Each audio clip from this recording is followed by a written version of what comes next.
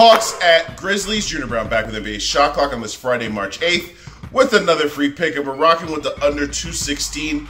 Uh, this is a situation where the Hawks team, they just have to be graded differently. The market is adjusted, uh, might have even over adjusted, but they've adjusted properly because with Trae Young in the lineup, the Hawks totals were like 245. Without Trae Young in the lineup, their totals are around just over 219. So the market has had to adjust the way they put up these totals. And now against a Grizzlies team that can't score since the All Star break, averaging 102 points per 100 possessions, which is pathetic.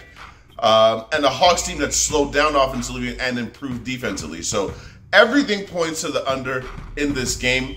And the the thing that pushed me over the top, that got me to the window to make this bet, is the fact that not only is Trae Young out, not only is a Okongwu out, but now Jalen Johnson is out. And there's an argument that could be made that if you're just going by value, not by talent, if you're just going by value, Jalen Johnson might be the second most valuable Hawk uh, on that team. So you're taking out your best player, arguably your second to third best player, and a Okongwu, who's a guy who gives them major minutes and productive minutes.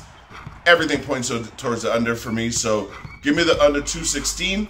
And the pro- what's going to probably be an ugly game. We don't care about that. All we care about is cash and tickets, y'all. Let's go.